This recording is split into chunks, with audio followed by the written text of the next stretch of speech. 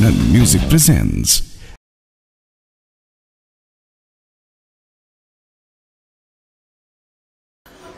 ਲੈ ਬਾਈ ਪੈਗ ਸ਼ੈਗ ਤਾਂ ਹੋ ਗਿਆ। ਪਰ ਹੁਣ ਰੋਟੀ ਭਾਈ ਆਪਾਂ ਘਰੇ ਹੀ ਖਾਣੀ ਆ। ਖਾਣੀ ਵੀ ਖਾਣੀ ਵੀ ਭਾਬੀ ਦੇ ਹੱਥ ਦੀ ਗੱਲ ਕੋਈ ਨਹੀਂ ਗੱਲ ਕੋਈ ਨਹੀਂ।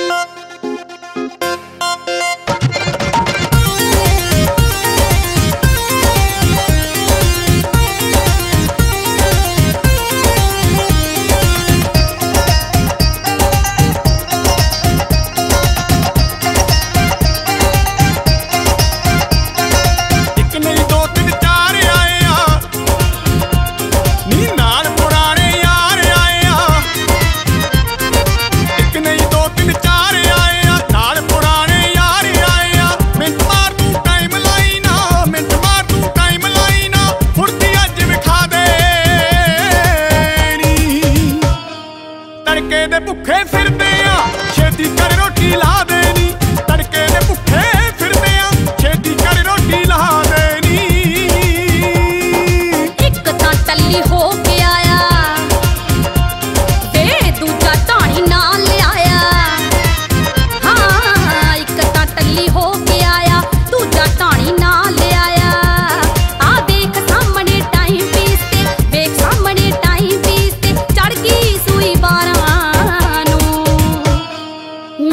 ਕਿੱਥੇ ਟੱਕਰਾਂ ਮਾਰੂੰਗੇ, ਢਾਬੇ ਤੇ ਲੈ ਜਾ ਯਾਰਾਂ ਨੂੰ।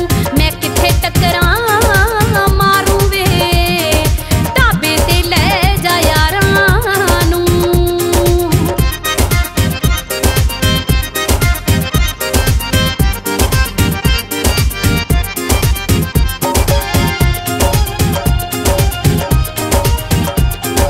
ਨੀ ਮੈਂ ਢਾਬੇ ਤੇ ਆਖਿਆ ਸੀ, ਤੂੰ ਝੂਠਾ ਰੱਬਾ ਨਾ ਜਾਣੀ। ਮੈਨੂੰ ਕਹਿੰਦੇ